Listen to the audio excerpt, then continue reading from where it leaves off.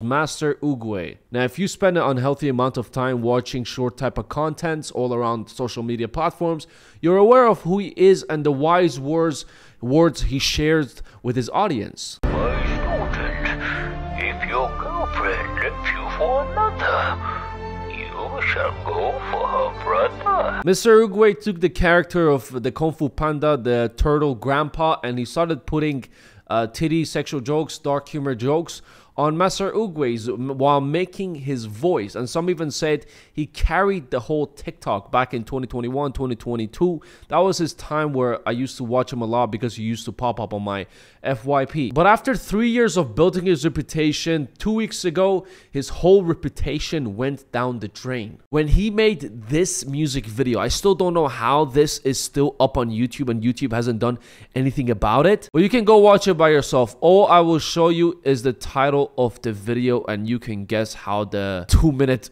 fucking music video is gonna go. Before we talk about that, let me give you a quick rundown of how in this three years, how Mr. Oogway's channel has gone from being the person who carries TikTok to going all the way downhill, hitting rock bottom right now. Now, like every TikToker, once they realize how much YouTubers make more than them, they decide to join the platform called YouTube, myself included. But I also have other reasons because I'm 25 years old and I'm too old to uh, keep on making memes. But anyways, TikTokers, when they first join YouTube, they don't know what the fuck they're doing. They don't know what kind of content they want to keep on making. So they post their compilations from their TikTok videos. And after that, he started making reaction videos. If he laughs, he will do, I don't know, he will fart.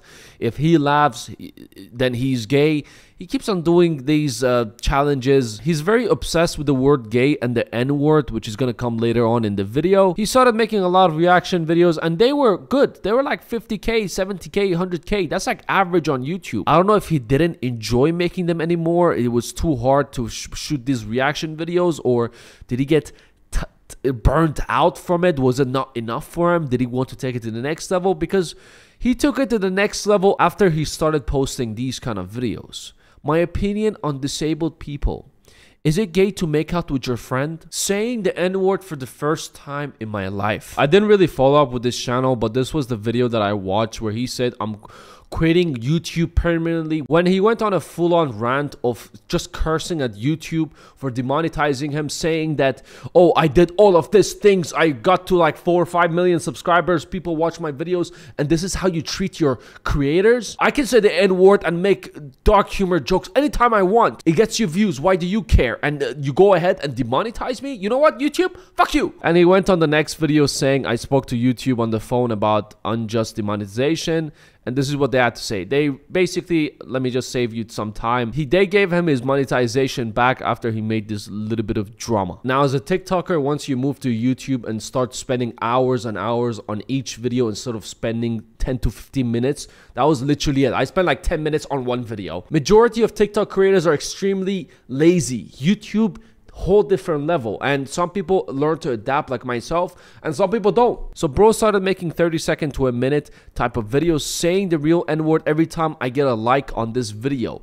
If you don't click on this video you're gay. If you don't click on this video you like little kids. My top 10 favorite n-words. Now as an experienced dark humor person who occasionally posted dark humor on his channel some of my dark humor content was like self-defense kids. Sometimes i make like some different type of uh, dark humor kind of stuff. But this is some 10 year old dark humor stuff in my opinion or maybe I, i've just grown up maybe i became a mature adult we still don't know but this type of content is like when a seven year old just learned the word fuck but with the views that he's been bagging on these videos i guess the internet has different types of humor. His community still finds this funny and they support him for whatever the reason. But when he posted that song, even his community turned against him because I guess there's a line for these type of people with these type of humor. Now the transition he took really messed him up. It might be because of his boxing match a few months ago. He got really you know hit in the head pretty hard maybe that's why he came up with these type of content and just a few months ago he decided to take a new career path on making music videos hosting concerts inshallah in the future and you know just casually putting this video in in case his views drop now going back to this video i listened to the whole song i want to know in what world he thought this was funny to make. right? I'm all about dark humor. This is not dark humor. This is not even funny. Now, if Oogway had that majestic Filipino voice, he would definitely be successful in this era because he already has an audience and he would push towards music.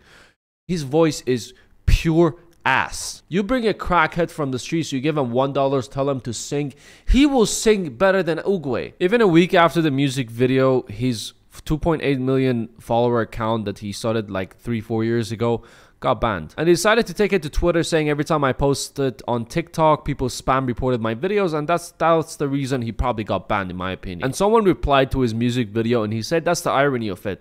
They allow this kind of songs which is crazy. It's because music has creative freedom. Oh, it doesn't. Yes, you want to talk about, I don't know, Palestine. You want to uh, talk about freedom. You want to talk about strong messages in your videos. Sure. If you want to talk about Mr. Mustache saying the N word, even if you post that video on Kick, they're going to ban your ass. And then he went on and he posted this message from YouTube that they gave him. He's saying, Well, that's it. My YouTube account with 7 million subscribers and 500 million views a month is gone soon because of a group of people spam reporting me to rack up guidance. Like, this is how you treat your creators after they've given you four years to grow on your platform. If there was a title and an award for the biggest bitching creator out there, it will go straight to Mr. Oogway. This is just the tip of the iceberg. The amount of videos he made. Oh, guys, that's it.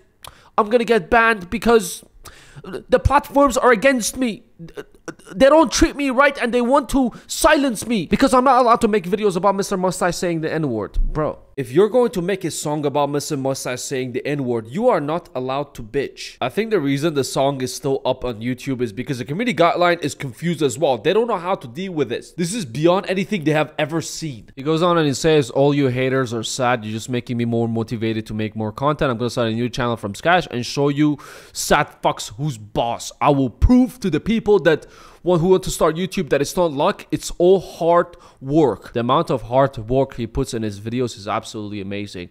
Now I'm not, you know, like hate I'm hating on him now. I used to really respect this guy back in the day with the funny videos he used to make, but this is just getting pathetic. The amount of hard work you put in your videos, you record a 30 second video saying Guys, I'm, I'm really gonna say the N-word now. If you don't click on this video, you're gay. That really takes a lot of time to make and a lot of creativity to make, and he should definitely be awarded for it. He says, I'm gonna double down on the woke wokeism and make an even crazier song that I did before so I can hear your sad little haters cry again. Love to all my black homies that understood the joke and I saw you guys making shorts with the videos that made me die from laughter.